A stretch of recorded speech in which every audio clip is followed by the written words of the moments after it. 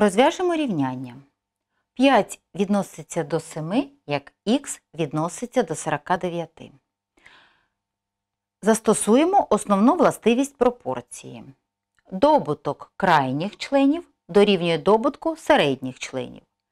Середніми членами цієї пропорції є числа 7 і х, крайніми 5 і 49. Отже, добуток середніх членів 7х дорівнює 5 помножити на 49. 7х дорівнює 5 помножити на 49 буде 245.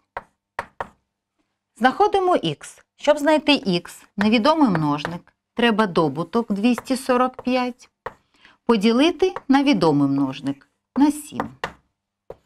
Х дорівнює 245 поділити на 7 дорівнює 35. Отже, х дорівнює 35. Відповідь. Х дорівнює 35. Рівняння розв'язали.